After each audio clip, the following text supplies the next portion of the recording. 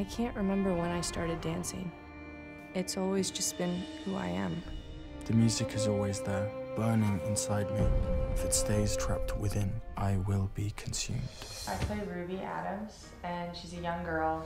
She's studying to become a ballet dancer, and I think when you first meet her in the film, she's um, she's very innocent and passionate, has a lot of personal integrity, um, and she's on a mission. Her mission is to become good at ballet, you know, to, to do well, to make her mom proud. Good luck. Thank you.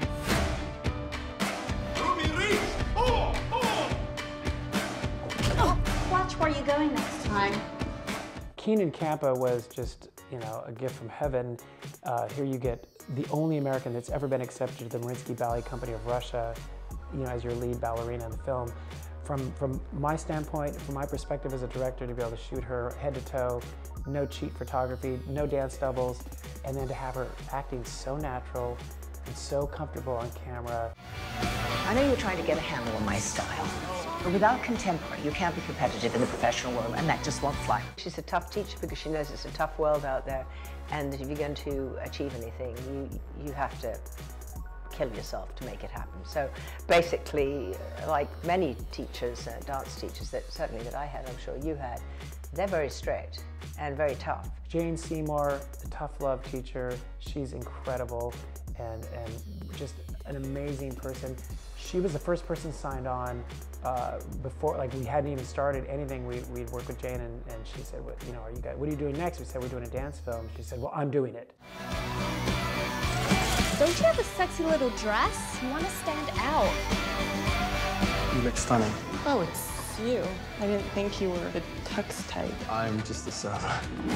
We have Nicholas Galitzine, a young man who plays the love interest, who is a spectacular young actor, was just uh, voted uh, Star of Tomorrow for uh, UK.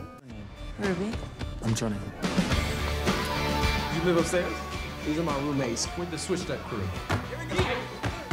You might have heard of us. We kind of wrote what we love, and uh, hopefully it translates to the audience because they can see the passion and the inspiration behind it, and we had an amazing cast. The idea, you can enter into this contest. Winner gets $25,000 and scholarship to the Manhattan Conservatory of the Arts. What a plan. So you want us to dance with you in a classical shindig? Yes. When I've seen this um, film shown in cinemas with people that don't know us at all, and when they've done test screenings, people actually stand up and applaud because they think they've just seen a performance live. I think that's what's so powerful about this movie and the choreography. You actually go, yes, and they applaud and they forget that they're not actually in the theatre and the people aren't actually there. Don't just dance, screw it, feel it! Harder, sharper,